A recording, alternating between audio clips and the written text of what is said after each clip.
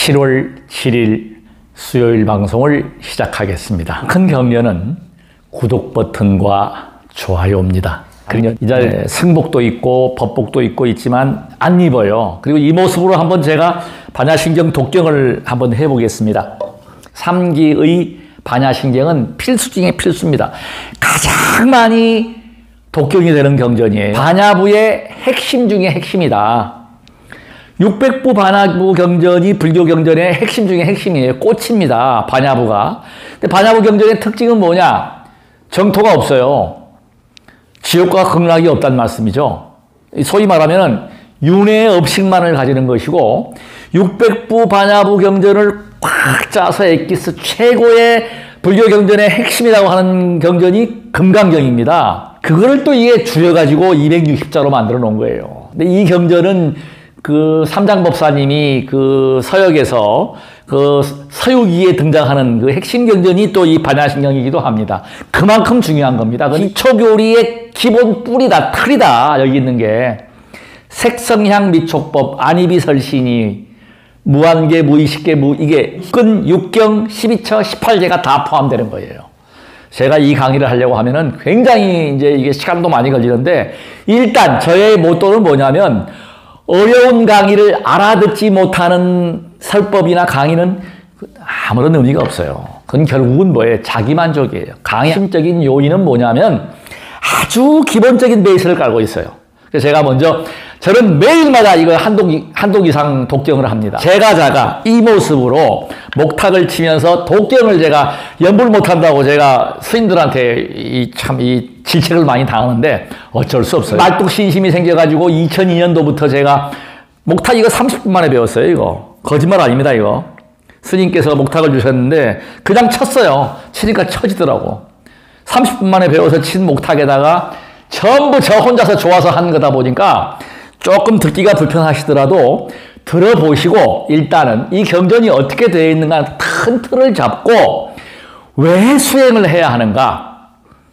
교학 공부보다 더 중요한 게 수행이고 수행이라고 해서 뭐 다뭐 명상이 좋아 참선이 좋아 그건 그 사람 얘기고 내가 맞는 자등명하라는 것은 나에게 맞는 수행을 찾아가는 것이에요. 그것이 중요합니다. 그리고 꾸준해야 한다는 것, 쉬지 않아야 한다는 것. 저는 정말 행복하고 정말 제가 부처님 은혜에 감사드리고 제 전생의 업력에 대해서 감사하는 게 뭐냐? 한 번 잡으면 꾸준히 해요. 마음을 먹으면. 그러니까 그 어려운 똥꼬도 뺐고 지금 이렇게 옷도 지금 아주 젊어지려고 이렇게 입고 그냥 아주 누가 보면은 저 참 웃긴다라고 할지 모르지만 저는 이게 행복한 거예요. 그러니까 나에 대한 만족. 그러니까 긍정, 만족. 이것입니다. 행복은. 바로 이게 불교예요. 행복을 추구하는 것, 만족한다는 것, 인정한다는 것, 겸손한 것. 전부 다 이게 불교란 말이죠. 그래서 제가 지금 이런 이 경전을 한번 독경을 해볼 테니까 한번 잘 한번 들어보십시오.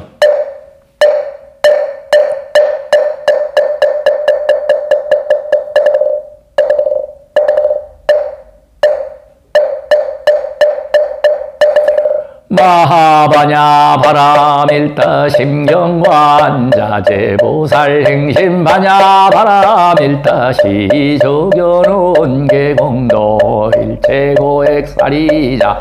색불이 공공불이 색 색 즉시 공공 즉시색 수상행식역 부여시사리자 시제법공상 불생불멸 불구부정 부정불감시고 공중무생무수 상행식무아니 비설신의 무색성양 미촉법 무한계대지 모이식계 무무명 영무무명진 내지 문호사 영문호사 진무고진멸도 무지 영무득 이무소득고 보리 살타의 반야바람일다고 진무가에 무가에 고 무유공포 원리전도 몽상구경 열반 삼세 제을의 반야바람일다고 득안욕따라 삼약삼불이 고지반야바람일다 시대 신주시대 명주시무 상주시무 등등주 등재일체고 진실 부르 고 설맞냐 바람일 타주 적설주알 아재 아재 바라제 바라 승아재 모지사바 아재 아재 바라 아재 바라 승아재 모지사바 아재 아재 바라 아재 바라 승아재 모지사바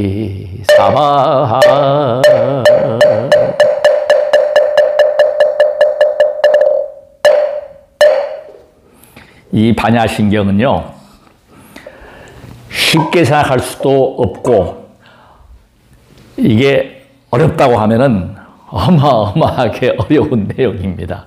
한글로 풀어도 이해가 안 가요. 솔직히 말씀드리면 제가 불교 공부 20년 동안 정말 죽어라고 수행하고 하지만 이 여기 육근 육경 12처 18개에서 108번뇌가 나오고 모든 뿌리가 되는 게 반야신경이에요, 사실은. 기본이. 자, 우리가 보세요. 이게 제가 지난번에 말씀드렸지만 안국동, 후암동, 구로동, 문일동, 이문이동, 뭐 얼굴 부분에 있는 것. 보고, 그러니까 코, 입, 눈 이게 바로 육근이에요. 뿌리예요. 이게는 단지 눈이다. 이것이 뭐 하냐? 보는 눈은 뭐 하는 거다? 보는 거다. 그럼 대상이 되는 거잖아요. 경이 되는 거예요. 여기 보면은 안입이 설신이 나오잖아요. 그 안입이 설신이 전 오식이 되는 거예요. 제가 뻑 하면은 뭐 아뢰야식이라고 하는데 이 불교 공부하신 분들은 다 쉽게 이해를 하시겠지만 아뢰야식이 뭐냐? 말라식이 뭐냐? 전오식이 뭐냐? 전오식은 그야말로 안국동, 눈, 이문동, 귀, 코, 비, 코, 그 다음에 맛보는 것, 설, 그 다음에 몸, 몸의 느낌. 그러니까 이게 이런 것, 그러니까 이 몸 전체, 몸을 얘기하는 그 신, 신근, 그러니까 이런 것이 안입이 설신에다가 의식까지. 그게 이제 육식으로 가는 거예요. 다섯 개가 오식이 되는 거고, 전 오식이라고 그래요. 그 육식이 되고, 말라식은 쉽게 설명드리면 꿈하고 비슷한 거예요. 의식이 왔다 갔다. 그러니까 이, 이 잠재의식, 소위 말하면 우리가 함장식이죠. 아래아식은 전생을 정보를 다 저장한다고 그럽니다. 유식이 참 이게 어렵고도 그 한, 근데 유식에 대한 공부만 해도 뭐 어마어마한 분량이 됩니다. 근데 그, 그 부분에 대해서는 제가 상세한 설명은 사실 지금 이거 설명한다고 하는데요. 이 관하신경에 대한 것은 불교 하시는 분들은 많이 알고 있고 다 접하지만 정말 저도 저 역시도 마찬가지도 이게 한꺼번에 확 들어와가지고 내가 이것입니다라고 탁 내놓을 수가 없어요. 이게 안 되는 겁니다. 단지 제가 지금 내놓을 수 있는 것은 가장 기본적인 뿌리다. 뿌리인데 이걸 이해하는 것은 머리로는 이해는 되지만 이 말을 하면은 우리 선가에서 그러죠. 개구즉착이다. 말하는 자체, 이 자체가 여기서 불가능합니다. 말로서 설명이 될 수가 없어요. 이, 이 깊은 뜻이 여기는 그래서 지금 보면은 여기 마지막 부분도 그렇고 서두부터 쭉 보면은 금강경이 가장 수승한 경전이에요.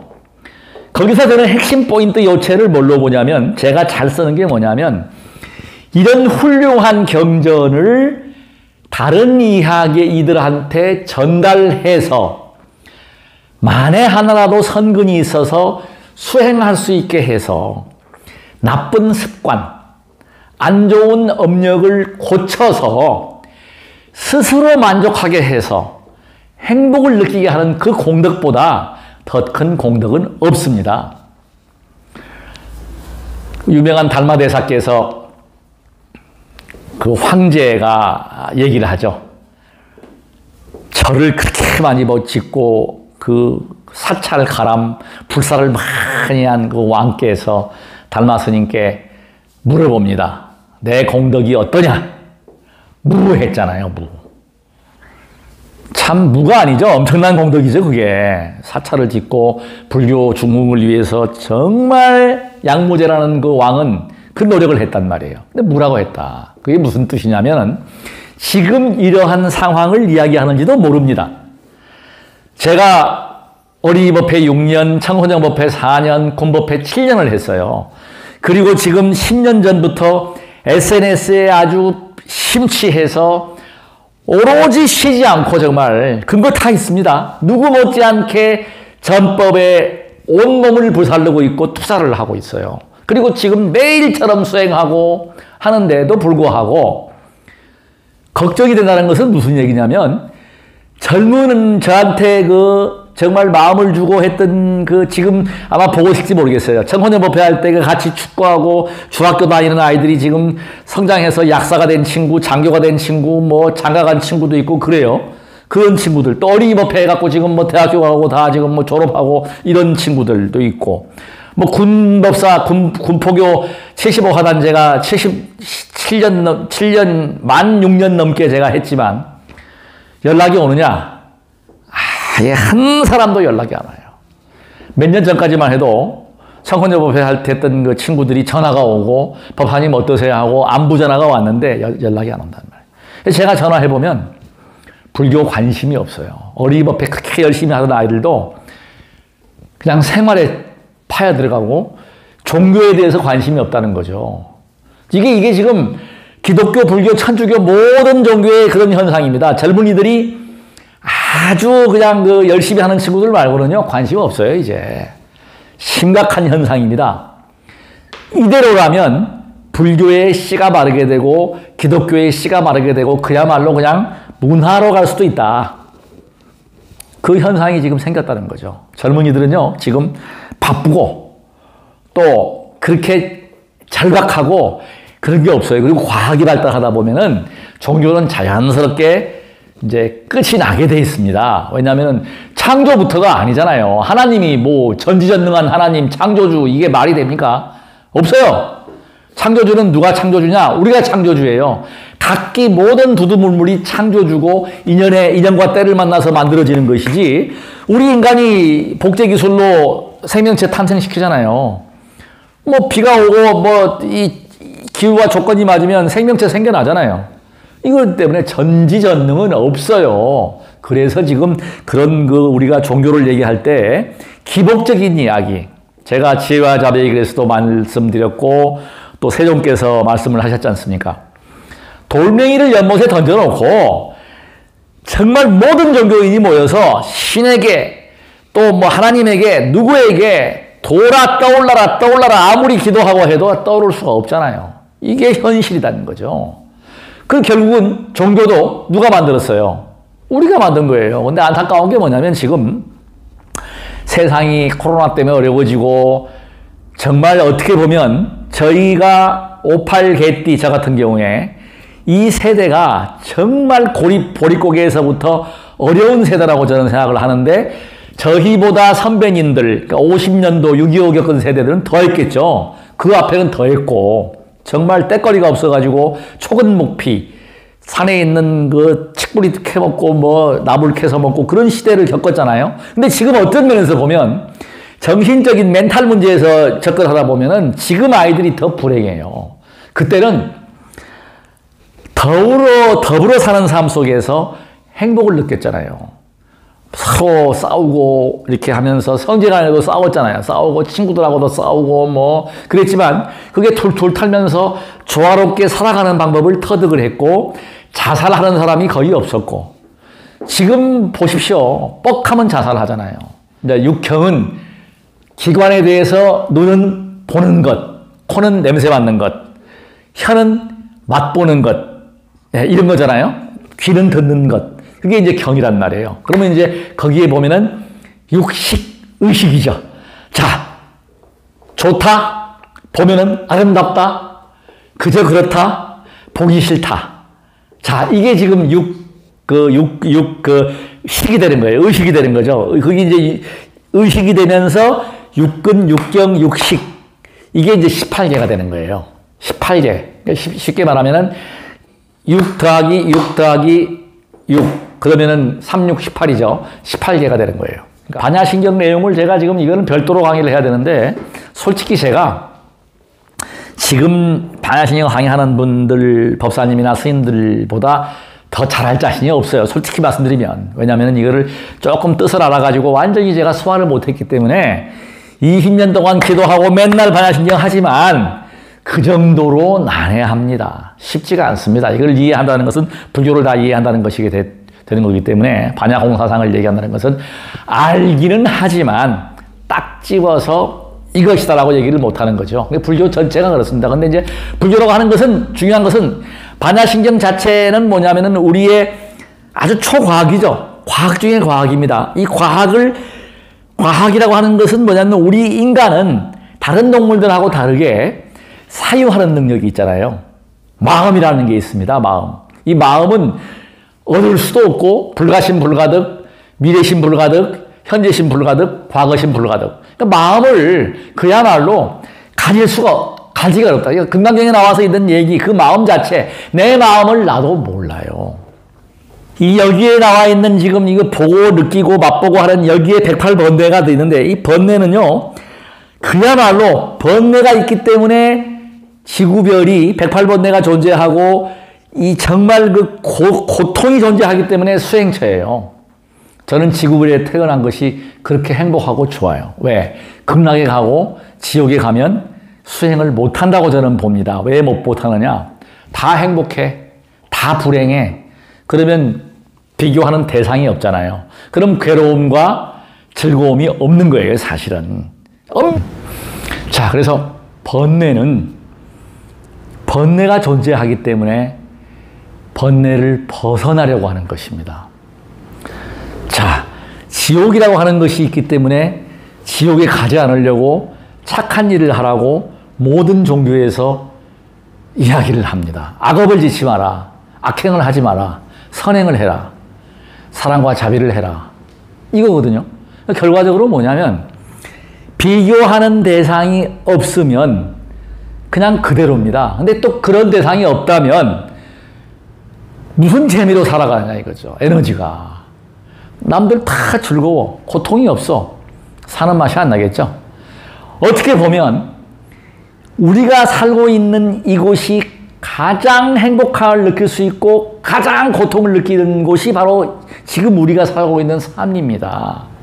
반야신경을 제가 이, 이, 이, 그렇게 강의를 한다고 해놓고 이 이야기를 하는 것은 뭐냐면 가장 행복한 지구별, 가장 고통스러운 지구별이다 이거예요. 그게 뭐예요? 이걸 또 줄이면은 일체가 유심조다 이거죠. 일체, 모든 마음에 있다. 100% 공감하는 부분입니다. 수행을 시작하고 나서 지금은 너무너무 잘했어요. 가족들한테는 인기가 없습니다. 맹구하니 사업을 하고 경제 활동을 할 때는 돈도 벌어봤잖아요. 그리고 또 이 사회 평균적으로 볼 때 수익이 낮은 구조가 아니었어요. 높은 구조였거든요. 수입을 없이 수입 없이 종교 활동의 수행이라고 하는 것에 매달리니까 가족들한테는 인기를 못 얻었지만 지금 이 시점에 와서는 저는 너무너무 잘했다는 거죠. 너무너무 잘했다. 역으로 한번 돌려, 돌이켜 보면 2002년도에 제가 몸이 다 망가져가지고 절이라고 하는 수행, 연불이라고 하는 수행, 불교 수행을 하지 않았다면, 불교 공부를 하지 않았다면 지금 내 모습이 어떻게 되어 있었을까 하는 생각을 하면은 안찔합니다. 병원에 누워 있을 수도 있고, 죽었을 수도 있고, 아주 만족한다. 왜? 굶어 죽을 일은 없다는 거죠. 원래 수행자들한테 하는 얘기가 있습니다. 천공을 받는다. 제천이 여의 의식이다. 그러니까 모든 수행하는 사람 마찬가지인데 저는 그것을 뼈저리게 느껴요. 왜 그런 거니?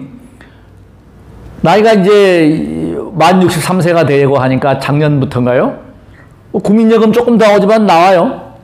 그리고 뭐 누구한테 얘기 안 해도 장로님이 오셔가지고 뭐 보시함에다가 돈도 넣어주시고 교인들도 오셔갖고 그래도 이렇게 하시는 분도 계시고 수행하다 보면요 실천이 중요하지 교학을 뭐 금강경을 거꾸로 외우고 거꾸로 가고 팔만 대장경을 다 외운들 뭐 하겠어요.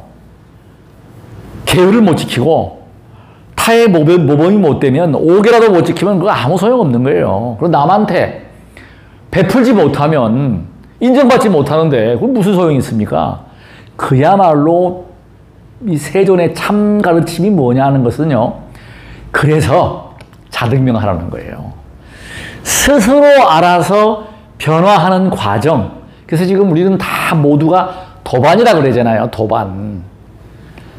이게 어떻게 어떤 의미에서 보면 우리가 수행 공동체가 있다고 하면은 거기서 서로 가진 정보를 교류하고 그런 것이 뭐 위에 탁 서가지고 내가 네 스승이야. 내가 뭐 가르쳐 주겠어. 그런, 그, 그런 위치에 가 있는 분은요, 생사 여타를 하셔야 돼요. 나에 대한 존귀함을 알아야 됩니다. 그래서 천상천하 유아 독존. 주인공이 되어야 합니다. 사기당하는 사람들이 100% 뭐냐? 그 사람 자체에 문제가 있는 거예요. 탐욕을 부리기 때문에 그래요. 분수를 알아야 합니다. 나의 위치, 내가 어떠한 위치에 있고 어떤 상황에 있는가, 내가 타고난 복이 얼마인가. 다른 건 몰라도요, 재물은요, 돈은요, 정말 타고난 복입니다. 제가 돈을 벌 때, 지금 생각하면 운으로 번 것이지 실력으로 번 것은 아니에요. 때를 만난 거거든요. 다 마찬가지입니다. 때를 만나는 거예요. 그러니까 공부를 한다 이런 것은 보면은 공부하고 노력하고 정진하는 것은 수행력이 되고 쌓이는 거지만 세물만큼은 그야말로 전생에 쌓아나왔던 또 아니면은 복을 타고난 타고난 복에 의해서 재물이 있고 없고 좌우되는 거예요. 저는 그걸 압니다. 근데 저는 지금 그 재물에 대해서 크게 그 연연하지 않는 것은 뭐냐면 그걸 알기 때문에 그렇게 왜냐하면 돈이 많으면 항상 다른 생각을 하게 돼요.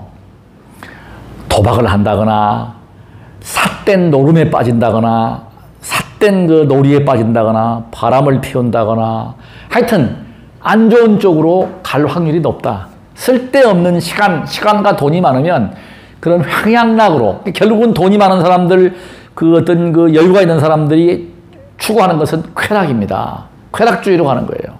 그래서 사회는 더 안 좋아지게 되고 부익부 빈익빈이 더 심화되고 근데 어쩔 수 없이 그것은 탁월한 폭력이기 때문에 우리가 이 순간 누차 말씀드리지만은 그냥 만족할 수 있고 그래서 우리가 수행불교가 다시 꽃이 피어야 한다는 것은 뭐냐면 그런 마음 내는 것, 일체 유심이 마음 하나, 마음 심자 하나를 보는 거예요. 내 마음이 어디로 가고 있는가? 탐욕을 내고 있는가? 재물을 탐하고 있는가? 색을 탐하고 있는가? 알아차리는 것이죠. 그래서 그것을 알아차리고 알아차리기만 하는 게 아니라 실천을 할 수 있어야 합니다. 잘못된 것을 수정을 해야 합니다. 그렇게 하다 보면은 잘못을 알려면 반드시 참회가 필요합니다. 그래서 기독교에서 회개하라. 불교에서 참회하라. 그게 핵심 요체가 되는 거예요. 잘못을 알고. 그래서 우리가 불교에서는요, 모르고 지은 죄가 더 큽니다. 왜? 참회하고 회개할 기회를 잃어버리는 거예요. 알고 지었으면 그걸 알, 알기 때문에 반성하고 수정하려고 하고 참회를 하거든요. 근데 그걸 모르고 지었다. 내가 길 가다가 벌레 한 마리를 죽여서 밟아서 죽였다. 살생을 했다. 모르잖아요. 그럼 그 벌레에 대한 미안한 마음이 없어요. 저도 살생을 합니다. 모기도 잡고 바퀴벌레도 막 지나가면 잡고 그러거든요. 근데 그때는 항상 저는 그래도 습관화된 게 뭐냐면 발보리심. 어, 보리심을 내어서 몸을 바꿔라. 그 축원을 하고 내가 그래도 이렇게 살생을 하는 편이에요. 옛날에는 안 그러다가 수행을 하면서 수행이 깊어지니까 꼭 피치 못하게 살생을 할 경우는 발보리심. 음, 아니면 나무아미타불. 근데 지금 저는 주로 이제 발보리심 얘기를 합니다. 극락가는 게 아니라 그냥 보리심을 내어서 깨닫고자 하는 마음을 가져라. 보리심은 깨닫고자 하는 마음이에요. 그러니까 쉽게 말하면 깨달아가지고 무슨 뭐 육도윤회를 벗어나는 그런 거창한 깨달음이 아니라 정말 다른 모습으로 좀 더 나은 모습으로 상승하라. 결국 그, 그것이 그건 하다 하다 보면 꾸준히 쌓이다 보면 저는 도노돈수를 믿지 않습니다. 점수 도노라고 저는 생각을 하는 개인적으로. 그래서 이것이 꾸준히 쌓이다 보면 어느 순간에 탕 터지는 것이지 갑자기 그냥 뭐가 뭐 탁 와가지고 탁 터진다 이건 아니라고 봐요. 왜냐하면은 그만한 쌓아놓은 복이 있어야 복덕이 있어야 저는 그래서 그래도 그나마 여러 생을 수행자의 삶을 살았기 때문에 쉬지 않고 수행하는 겁니다. 수행은 수정하는 것이고 바꾸는 것이고 변화하는 것이고 노력하는 것이고 그러니까 노력하는 것이 뭐냐면 그냥 멍청하게 있는 게 아니라 어, 오늘은 기도를 해야 되겠다.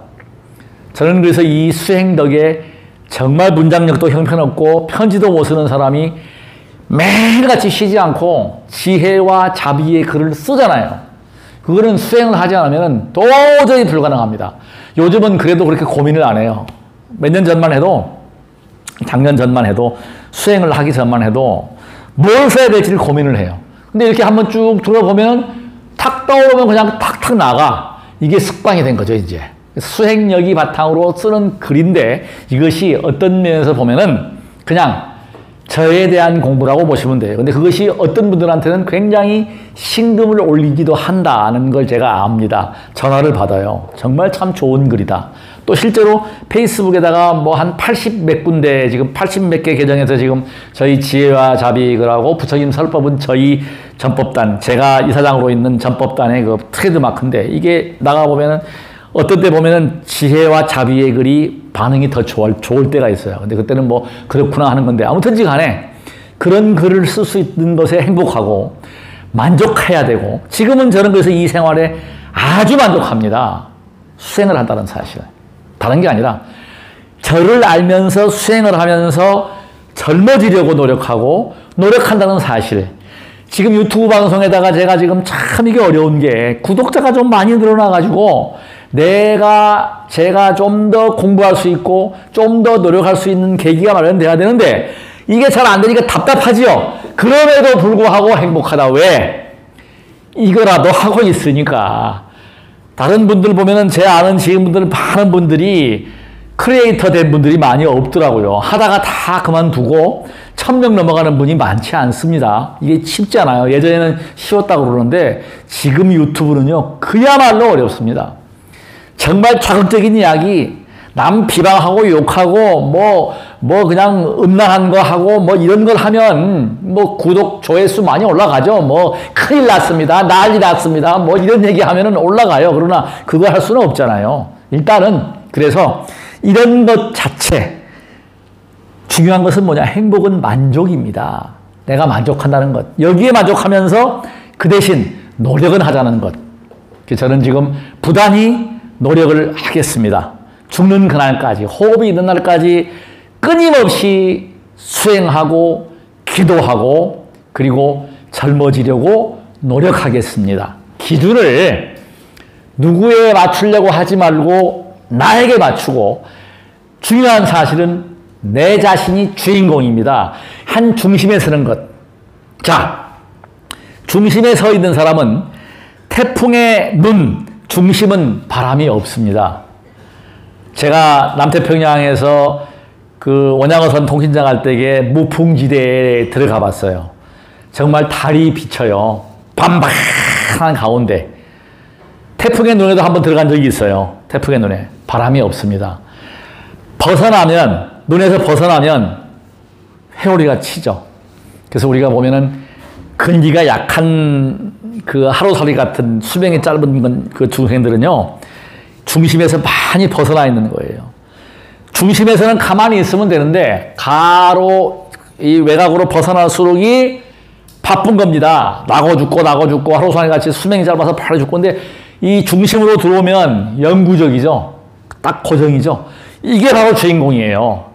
지금 주인공이 되자는 것이죠. 지금 이 순간, 이 순간 주인공이 될 수 있는 수행을 통해서 몸으로 체득을 통해서 이건 말로 되는 게 아닙니다. 결코 책을 읽어서 하는 것도 아닙니다. 수행을 해야만이 이런 느낌을 가질 수가 있는 거예요. 그래서 우리가 수행을 통해서 실천할 수 있는 삶, 구독과 좋아요 부탁드리고 끝까지 시청해 주셔서 대단히 고맙습니다. 나무 약사 여러분.